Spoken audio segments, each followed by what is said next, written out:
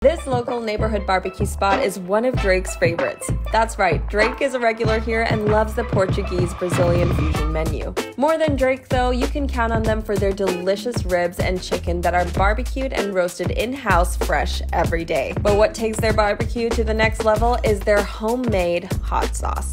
So this hot sauce is a crowd pleaser. It's the original recipe that's been here since 1986 and everyone loves it so much that it travels the world because everyone wants it on their plate. If you're into some good wholesome barbecue, head to Churrasco of St. Clair on 679 St. Clair Avenue West.